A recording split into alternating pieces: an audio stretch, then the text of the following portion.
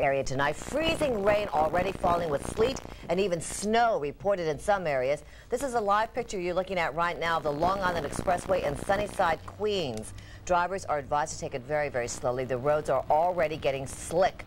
There are reports of numerous accidents around the area, including a 15-car chain reaction crash on the West Side Highway. That's at West 62nd. No serious injuries, though, are reported.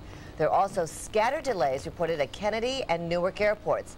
And this could be just the start. Things are expected to get worse as the night wears on, meaning, of course, that tomorrow's commute is shaping up to be a real nightmare. Mr. G joins us now live from the weather map with the very latest on the conditions. G? All right, Kaity, right now in the Midtown area, it's 24 degrees. We have freezing rain in and around the tri-state area. Snow north of the Tappan Zee and north and west of the city. A winter storm watch in effect for Orange, Putnam, Rockland, Westchester County in New Jersey, Passaic, Bergen, Essex, and Union County. A winter storm warning for an accumulating snow.